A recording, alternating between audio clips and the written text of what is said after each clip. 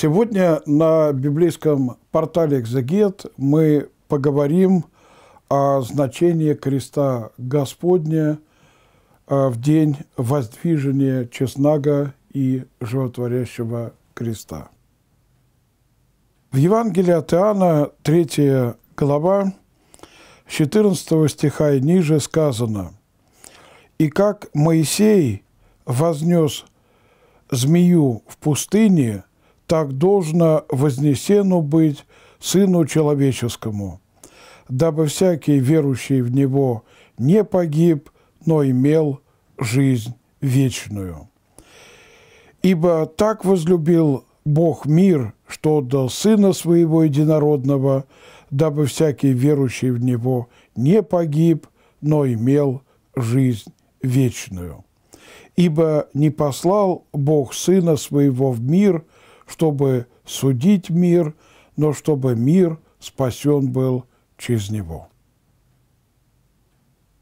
До славной смерти Христа Иисуса на кресте, которое совершило чудо освящения и неба, и земли, крест считался позорным древом, ибо на кресте распинали очень злобных преступников, чаще восставших или беглых рабов, детоубийц и убийц родителей.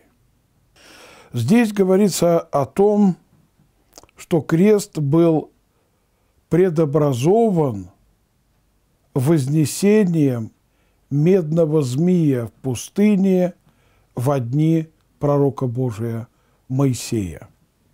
Сам Христос говорит, и как Моисей вознес змею в пустыне, так должно вознесену быть Сыну Человеческому. Об этом событии рассказывается в книге «Чисел», 21 глава, 9 стих. Давайте вспомним это событие, чтобы нам понять, что же имеет в виду Христос. Когда было сорокалетнее странствование еврейского народа по пустыне под предводительством боговица Моисея, то они попали в некую местность, где по их грехам Бог это попустил – на них стали нападать змеи и смертельно стали жалить их, и народ начал погибать. И тогда Господь повелел боговицу Моисею сделать медного змея и воздрузить его на шесте.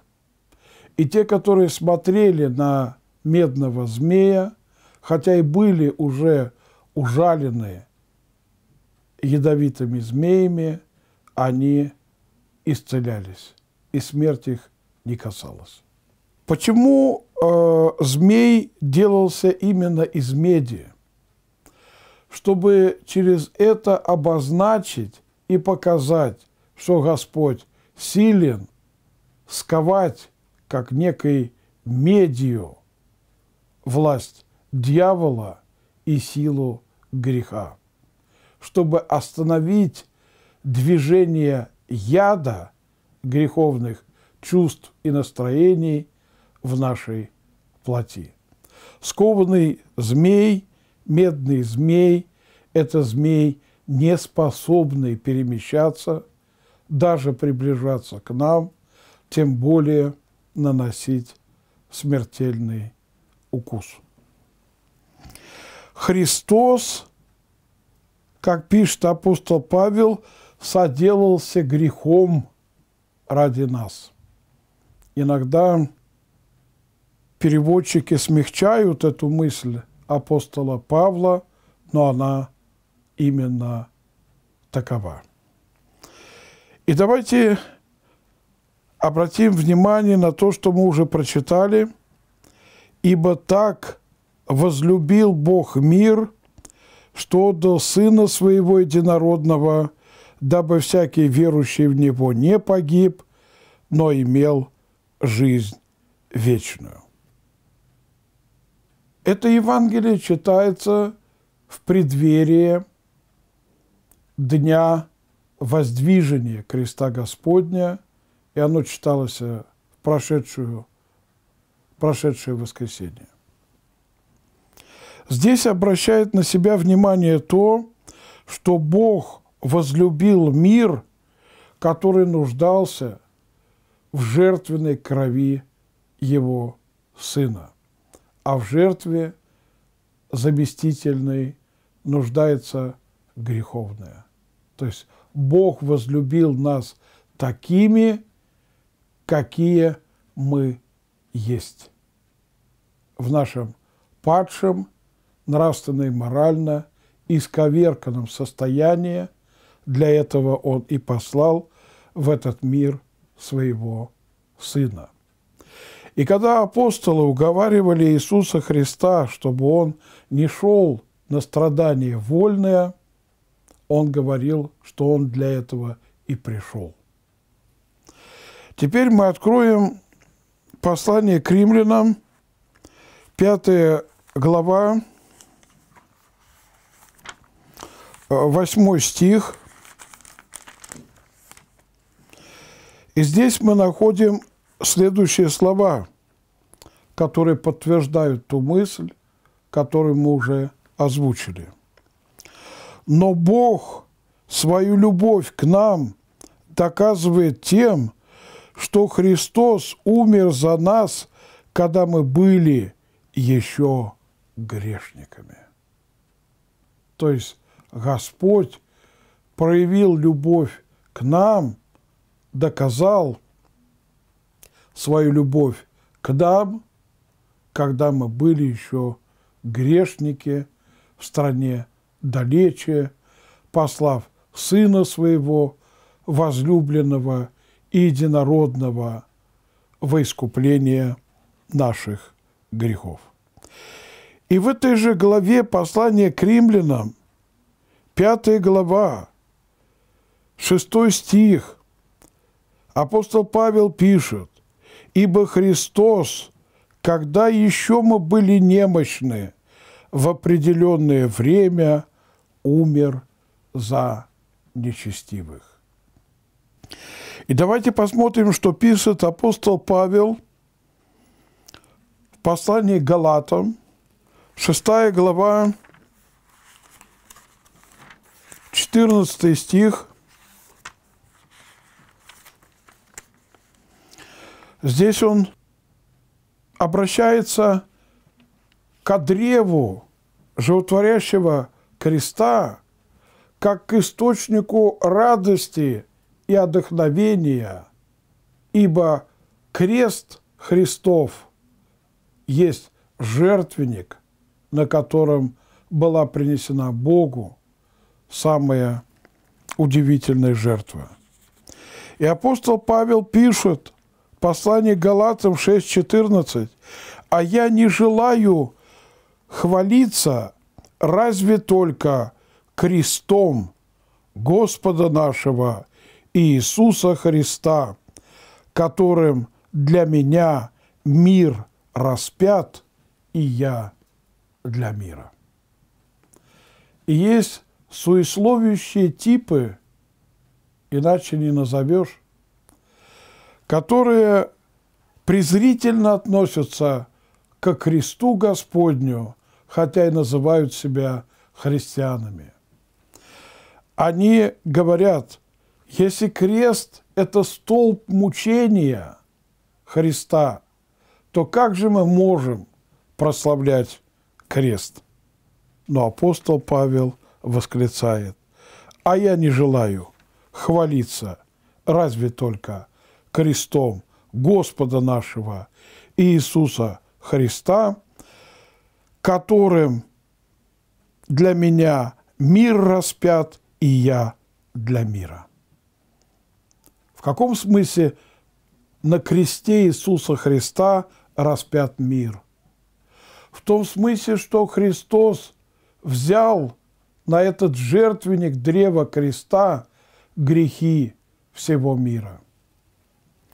И раскинутыми руками, правой и левой, он указал на то, что он берет на себя грехи людей, которые жили до его боговоплощения и которые будут жить после его вознесения на небеса, после его голговских мучений, и которые жили в дни его крестного страдания и спасительной крестной жертвы на этом жертвеннике, кресте, которым хвалится апостол Павел и который соединяет человека с Богом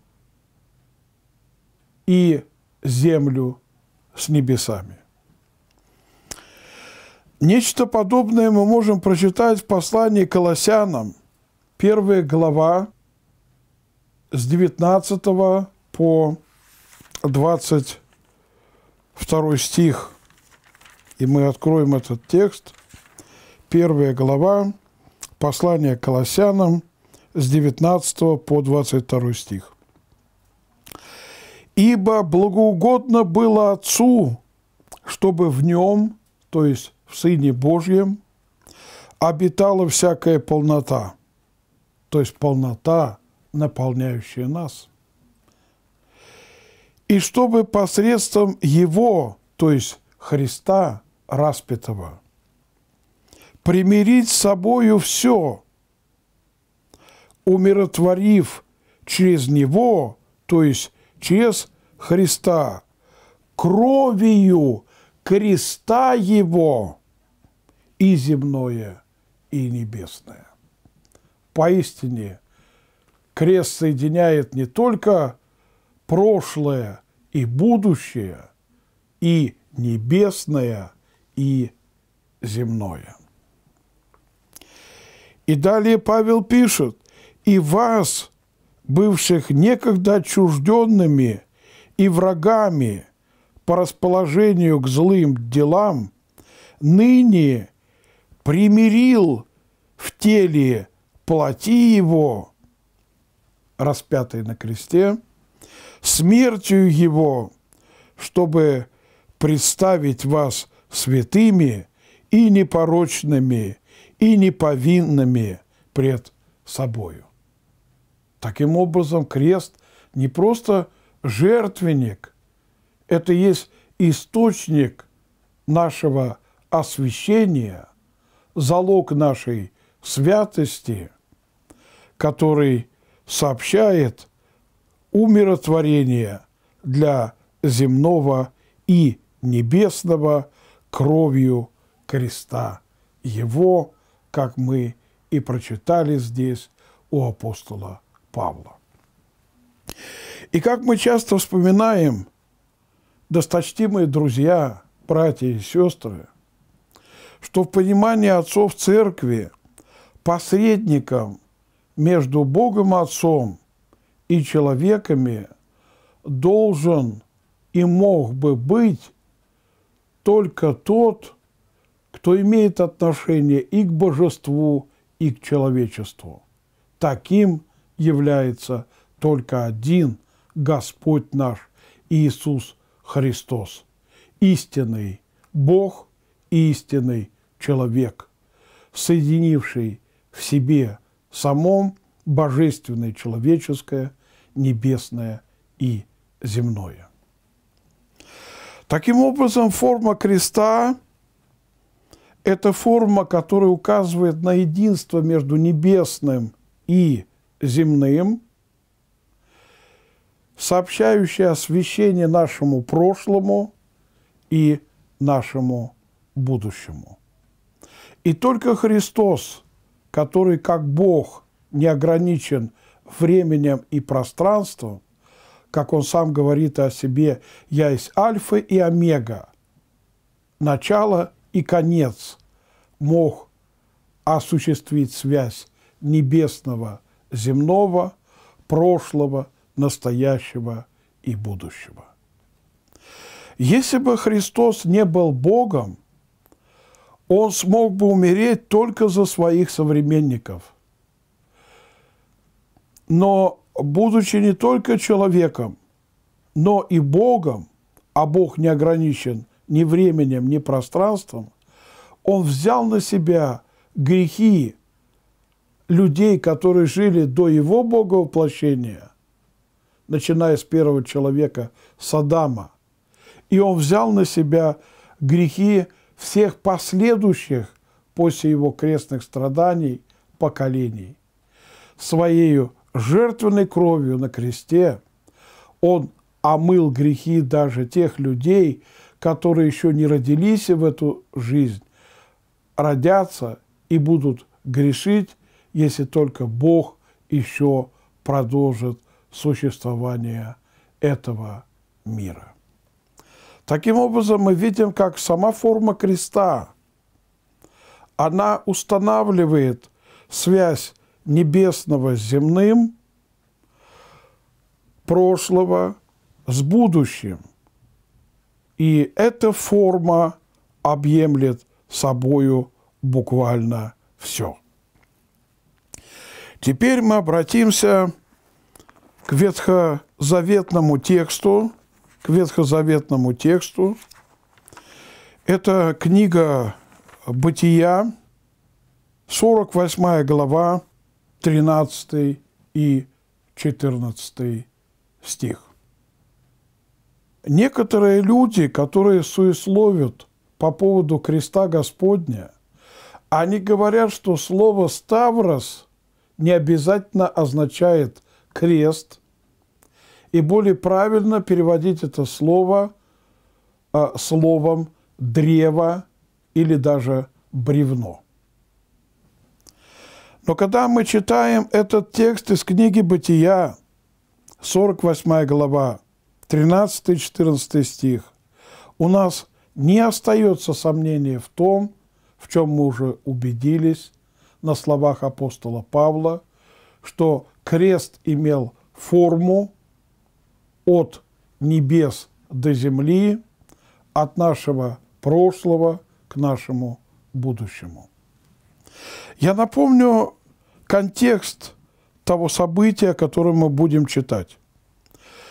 У патриарха Иакова, отца, был возлюбленный сын, которого он послал к своим, свои не приняли его. За сребреники они продали Иосифа Прекрасного в рабство. Находясь в рабстве в языческом мире Египта. Он женился на египтянке, символ языческой, неплодящей церкви.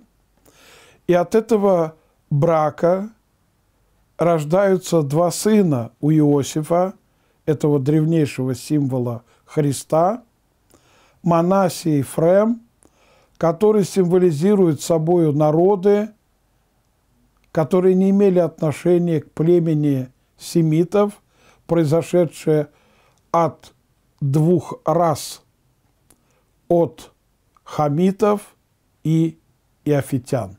Как мы помним, что родоначальники человеческих рас – это сыновья Ноя, Ноаха, Сим, Хам и Афет.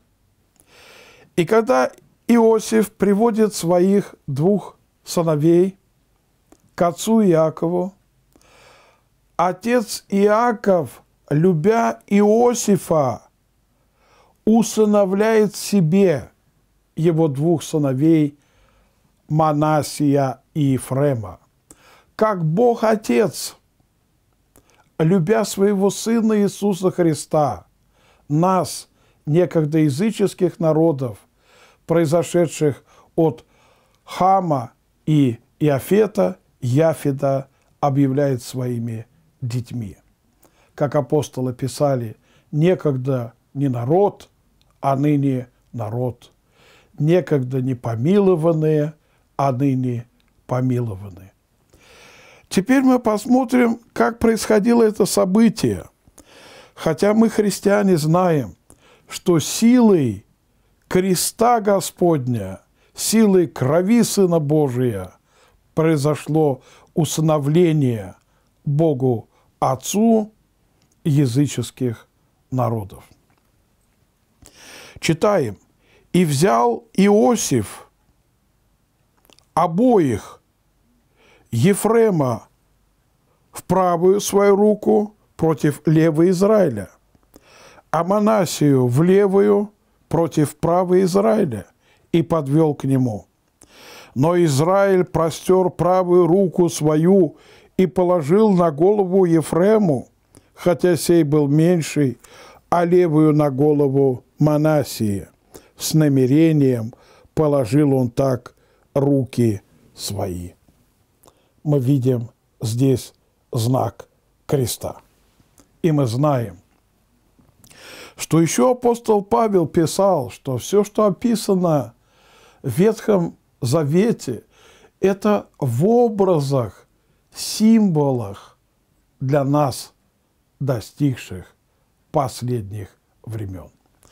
Таким образом, мы установили форму креста Господня с помощью текстов из апостола Павла и с помощью символических действий Иакова Отца, который символизирует собой Бога Отца, Иосифа, сына Иакова, который символизирует собою Христа, и с помощью Манасии Ефрема, который символизирует собою несемитские народы, расы числом два, произошедшие от Хама и Иофета.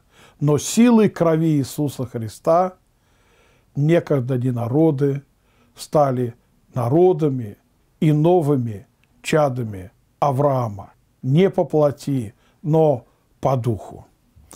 И в послании к римлянам апостол Павел так и пишет, не тот иудей, кто внешне, наружно таков, но тот иудей, кто внутренне таков, и ему похвала не от людей, но от Бога.